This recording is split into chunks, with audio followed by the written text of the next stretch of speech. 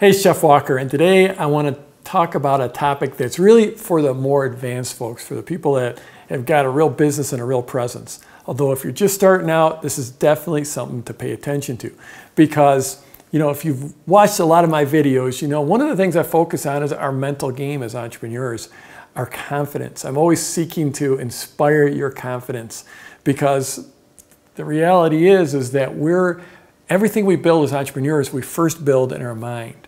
And you have to be confident to be able to create in your mind and then go out and create in the world. So if you're not confident, you know, then you're just not going to be able to create. So confidence is huge.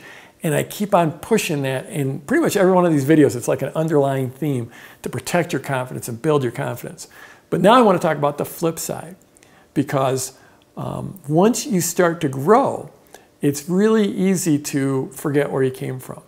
I personally think that humility is, is like a huge competitive advantage. And I always seek to, to remain humble. And um, it's sort of funny because in this way, it's like sort of like I'm bragging about being humble, but forgive me for that because I really do think, I, I think I do a pretty good job at this. Um, but as your presence grow, grows, as your business grows, you will be more and more surrounded by people that are telling you how awesome you are, how brilliant you are, and that are going to be reluctant to tell you, you know what, you're screwing up. Um, and, and like my, my friend, old friend, longtime friend, Paul Myers told me long ago, he said, it's okay to read your own press, but you don't want to believe your own press. Because like right now we live in this age of social media where everyone's out there, you know, beating their chest, showing how great they are how awesome they are, um, you know, putting up photos of their latest beach vacation and, and uh, you know, trying to make themselves look as amazing as possible and just sort of puffing out their chests and saying, yeah, look at me. And, you know, that makes sense because, you know, the world, people are attracted to winners.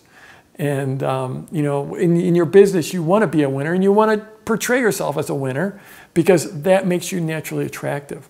But something that makes you very unattractive is having a huge ego um, or, or having like fake, false humility.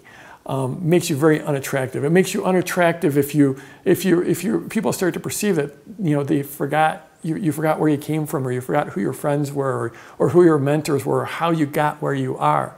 You don't want to do that. It will make you instantly unattractive. You know, as you grow in your business, the, your, the relationships you have become more high value. Um, they, and I'm not talking about your relationship like with your, with, with your platform, with your list. You know, I, I talk about that in so many other interviews and you know, it's super important. It's something I hit over and over. But what I'm talking about is the, uh, the super high leveraged relationships you have that might be with your mentors or um, the other people in your industry, your partners, uh, your, your team members, the leaders of your team. Those relationships, as your business and your presence grows, they become incredibly important. And you don't want to, it's really easy to burn those relationships if you have too huge an ego.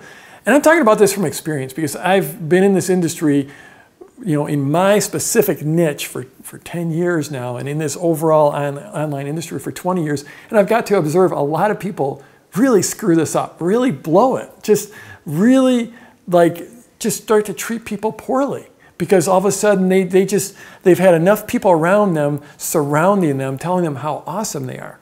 And you know, at, at some level, you have to just check out and say, you know, these, they, they keep telling me I'm awesome, but as your presence grows, it becomes more natural for people to not want to tell you that, hey, Jeff, you screwed that up. And you know, as an aside, when you do have those people, you want to seek to bring those people close, the people that are willing to tell you when you screwed up. Because you will screw up. We all do. I screw up plenty of times. And I, I, I, really value the people that will pull me aside and say, you know, Jeff, uh, you know, you, maybe you shouldn't have done that or said that. You know, I remember a few years ago, like one of the times, like when you step off stage, if you're speaking on stage, everyone wants to, they don't, they don't want to be a buzzkill. They want, when you step off stage, they want to say, oh, you did great, you crushed it, you were awesome. And, um, and, and that's just a natural tendency, like just if you're a speaker and you're stepping off stage. But it's not just when you're a speaker. And I remember actually a few years ago um, when Brendon Burchard, um, you know, I stepped off stage And he pulled, you know, he gave me my moment in the sun, gave me, you know, 10 minutes after I was glowing about how awesome I did on stage. And, and uh, you know, and he's like, wow, yeah, you did really good. I liked how you did this, this, this, this. And there's one other thing, you, you know, it, and he told me about something that wasn't good or perfect or great about my presentation. And I so valued that because as, like I said, as your presence grows, it becomes harder to get that, that clear, honest feedback.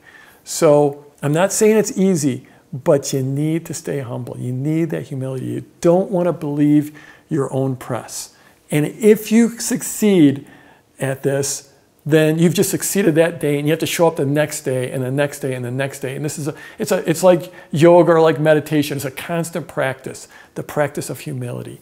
And I think if you look at the people that are really achieving in a huge way and have longevity in their, in their industry, those are that the people that are pounding their chest all the time. Yes, they're, they know they're, they're, they're powerful. They know they're, they're successful, but they're also, you know, got a ton of humility. So I'm Jeff Walker. If you're watching this video anywhere else besides on my blog at jeffwalker.com, head on over there. That's where all the goodies are. Um, give me a thumbs up, thumbs down, whichever you want. Just give me some reaction.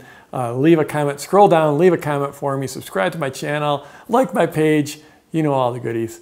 And let's go get them this week.